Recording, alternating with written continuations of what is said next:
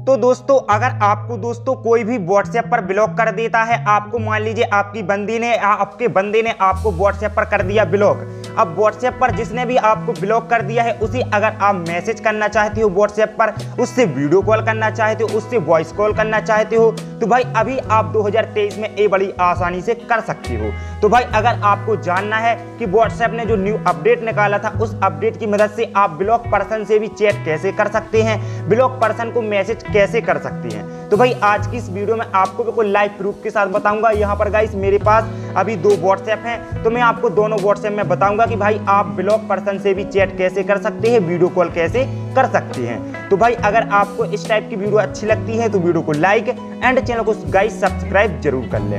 तो सबसे पहले गाइस ये ले लेते हैं अपनी एग्ज़ाम्पल के लिए अमित वाला कॉन्टैक्ट यहाँ पर गाइस मैंने अमित पटेल वाले कॉन्टैक्ट को बोल दिया हाई ठीक है? हाय बोलने के बाद यहाँ पर गाइस अमित पटेल वाले कॉन्टैक्ट पर हाई आ जाएगा। देख सकते हैं हाई आ चुका है। अब मैं क्या करूँगा, उस वाले कॉन्टैक्ट को यहाँ से मैं ब्लॉक कर दूँगा। ठीक है?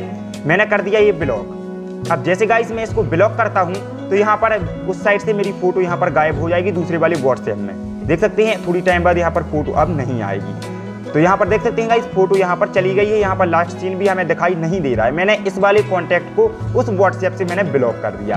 अब व्हाट्सएप पर मैंने कॉन्टैक्ट को ब्लॉक कर दिया, उसके बाद भी अभी मैं आपको इससे चैटिंग करके बताऊँगा। चलिए, आपको बताते हैं कि आपको अपने व्हाट्सएप के अंदर क्या करना पड़ेगा। तो सबसे पहले आपको आ जाना है बैक बैक आने के बाद यहाँ पर गाइस आपको सबसे नीचे यहाँ पर कॉन्टैक्ट जोड़ने वाले ऑप्शन पर आपको क्लिक करना है। इस पर क्लिक करने के बाद आपको जाना है सबसे ऊपर न्यू ग्रुप जैसे आप न्यू ग्रुप पर क्लिक करोगे तो यहाँ पर गाइस आपको उसी वाले कॉन्टैक्ट को सर्च करना है, जिस वाले कॉन्टैक्ट ने आपको ब्लॉक करके रखा है। तो मैं इस पर अमित पटेल वाले कॉन्टैक्ट पर सर्च करता हूँ। मैंने अमित पटेल वाले कॉन्टैक्ट को ऐड किया एंड मैंने यहाँ न्यू ग्रुप बना लिया।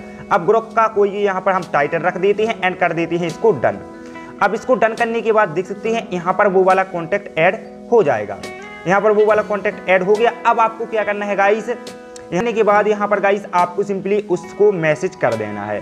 तो यहाँ से बड़ी आसानी से उसके पास वो वाला मैसेज चला जाएगा।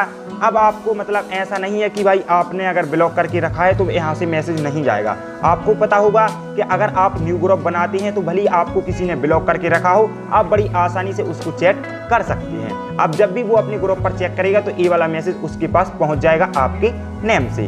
तो आशा करते हैं आपको वीडियो पसंद आई होगी।